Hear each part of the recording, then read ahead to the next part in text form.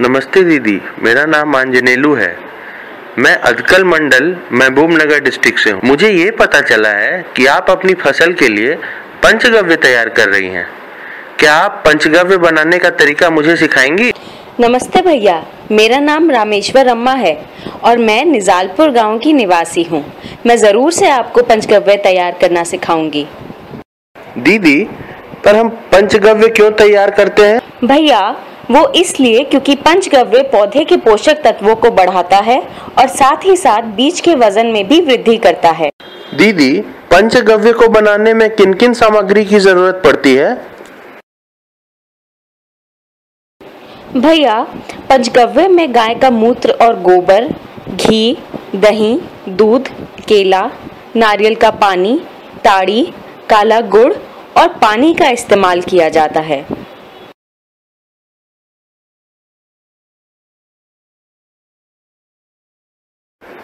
अच्छा दीदी, अब पंचगव्य कैसे बनाते हैं, ये भी बता दीजिए।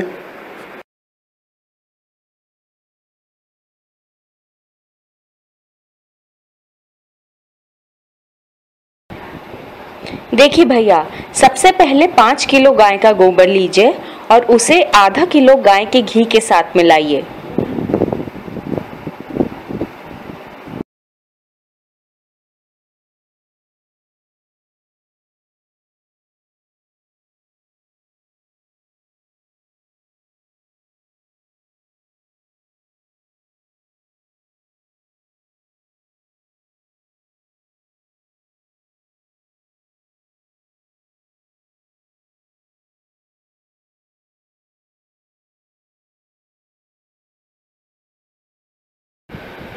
अच्छा दीदी, पाँच किलो गाय का गोबर और उसमें आधा किलो घी।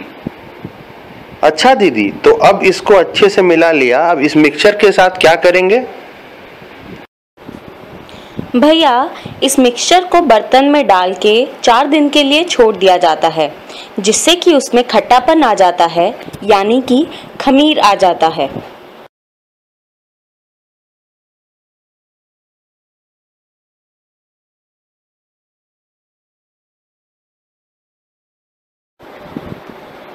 बर्तन में डालने के बाद साथ ही साथ इसमें ये सावधानी भी बरती जाती है कि इसे कपड़े से ढक दिया जाता है ताकि उसमें चीटी या मक्खी ना घुस पाए।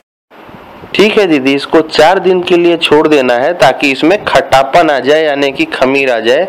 ये तो हम समझ गए। और इसको कपड़ा से ढका भी रहना है। लेकिन दीदी, क्या चार दिन तक इसको ऐसे ही छोड़ देंगे? नहीं नहीं भैया इसे हमें चार दिन तक रोज तीन बार मिलाते रहना होगा। अच्छा दीदी अब तो चार दिन बीत गया अब हम इसके साथ क्या करने वाले हैं?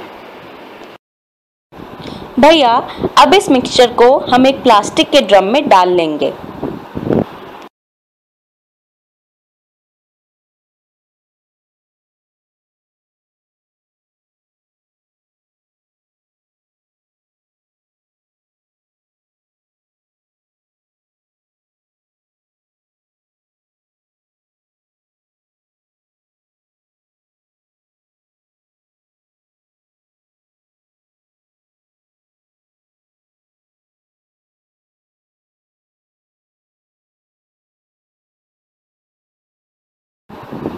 अब हम तीन लीटर गौमूत्र लेंगे, तीन लीटर नारियल पानी, एक किलो काला गुड़, दो लीटर गाय का दूध, दो किलो दही, बारह पके हुए केले और तीन लीटर पानी।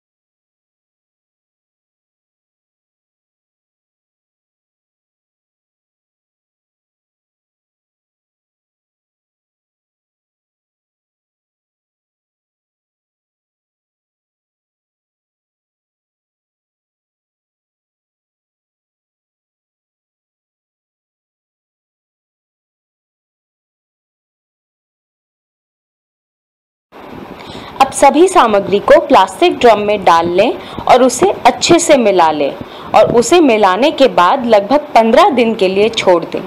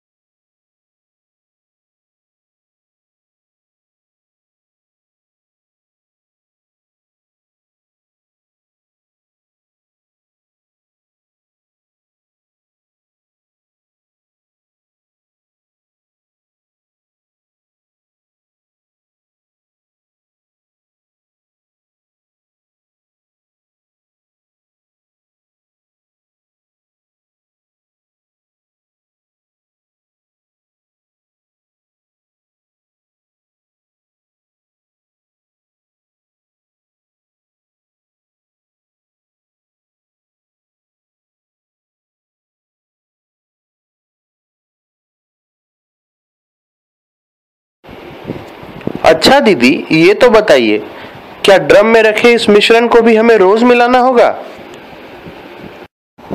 हाँ भैया इस मिश्रण को तो लगभग हम पंद्रह दिन के लिए रखेंगे पर इसे भी हमें चार दिन तक रोज तीन बार मिलाना होगा। इसको भी अच्छे से कपड़े से ढक दिया जाएगा ताकि चीटी या मक्खी इसमें ना घुस पाए। दीदी अब तो पंद्रह दिन भी बीत गए। अब हम इस मिश्रण का क्या करने वाले हैं? हाँ भैया अब देखिए इस मिश्रण को एक पतला कपड़ा लेकर अच्छे से छान ले।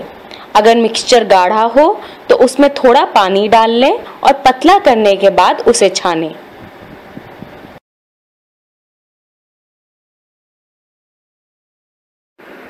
ठीक है दीदी लेकिन अब छानने के बाद खेत में इसका इस्तेमाल किस प्रकार किया जाएगा? भैया लगभग दो से तीन लीटर एक एकड़ खेत पे इस्तेमाल किया जाता है।